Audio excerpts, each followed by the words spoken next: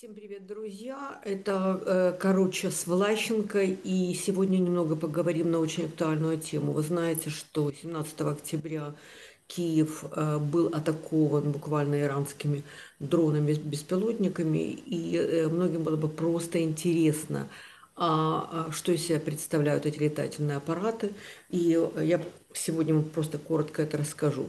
Сегодняшние атаки в Киеве, да, а, это первая такая, вернее, наоборот, не первая попытка российской армии а, поразить цели с помощью дронов «Камикадзе».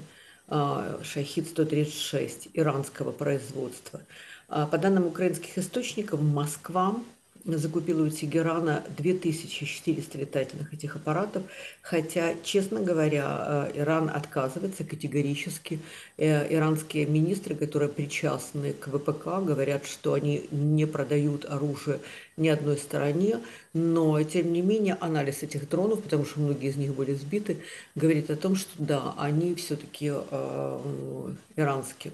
Шахид-136 такой э, современный, вот что он из себя представляет, это современный роевый беспилотник, разработанный иранской промышленностью. Это, собственно, их да, а, оружие.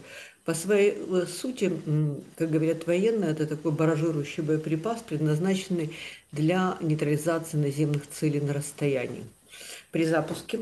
Несколько экземпляров, а, ожидающие вот в пусковой установке, в штабелях по 5 штук, по 8 штук, вот есть разные а, на эту э, тему сведения, а, разные ракеты, ну, по нескольку этих ракетоносителей, они расходуются во время атаки. Э, беспилотник был показан на одной из выставок в декабре 2021 года. По крайней мере, с тех пор мы о нем знаем. На сегодняшний день, на сегодняшний день эти беспилотники э, считаются в какой-то момент очень активно развертывались. Мы знаем, как они работали в районе Йемена, а, там, где вот э, э, в тех районах, которые контролировались хуситами, там они э, применялись иранцами. И сегодня, как мы видим, они есть здесь, в Украине, и применяются россиянами во время войны. Что такое этот беспилотник? Самолет имеет широкоугольное треугольное крыло со стабилизирующими рулями на законцовках. Фюзеляж расположен по центру и плавно перетекает в элемент крыла. А, в носовой части находится боеголовка, а также необходимая оптика для точной атаки. Двигатель расположен в задней части фюзеляжа. Вот такой достаточно, знаете, эм, э, такая простая конструкция. И э, есть также э, воздушный винт по схеме толкатель.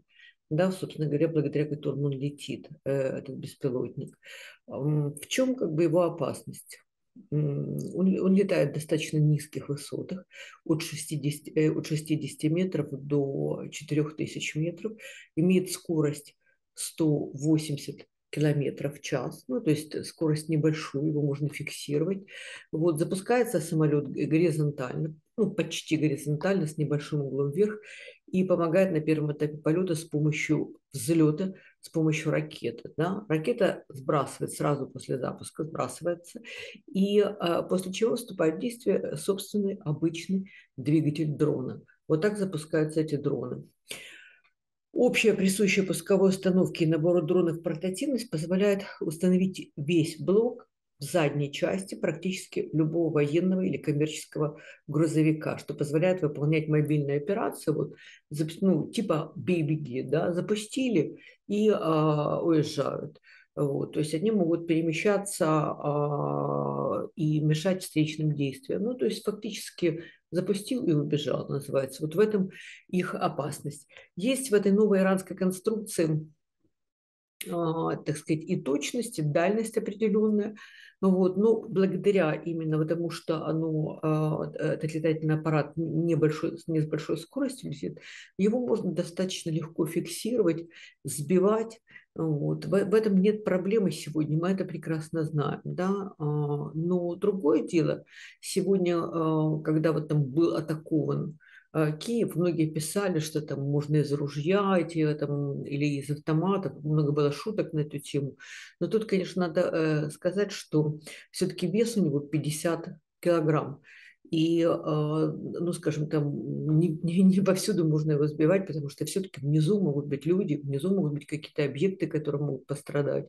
Поэтому я бы сказала, что лучше предоставить это почетное право сбивать русско-иранские дроны да, специалистам, э, людям военным, которые, собственно, учились для этого и знают, как это делать правильно, как это делать безопасно для населения. Поэтому конечно, неприятная штука, но бороться с ней можно довольно легко. Но самое главное, знаете, многие писали, а что а, в Киеве делает иранское посольство? Ну, я бы сказала так, на самом деле, что да, пора бы уже вызывать иранского посла и спрашивать у него, а почему? Ну и, как вы знаете, а, вот эта история с иранскими дронами очень возбудила наших израильских партнеров и друзей. А, один из министров израильских буквально несколько дней назад сказал, что если, а, коль пошли такие дела, если Иран дает свои беспилотники России, то, собственно говоря, и Израилю занимать сегодня израильскую э, нейтральную позицию относительно там, продажи оружия, тоже, наверное, уже не стоит. Раз Иран на стороне России, то Израиль должен знать точно, на чьей он стороне. И нам нетрудно догадаться, на чьей стороне может быть Израиль в данном случае. Так что, э, дорогие мои, берегите себя, э, берегите своих близких, слышите воздушную тревогу всегда в укрытии. И самое главное, знаете, предупрежден, значит вооружен.